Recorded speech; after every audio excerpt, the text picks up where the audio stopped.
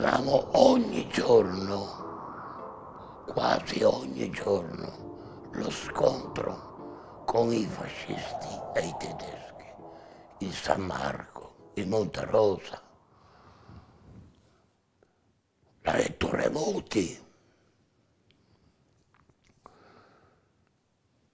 E scontravamo, ci scontravamo sempre e ci sparavamo addosso, uno contro l'altro.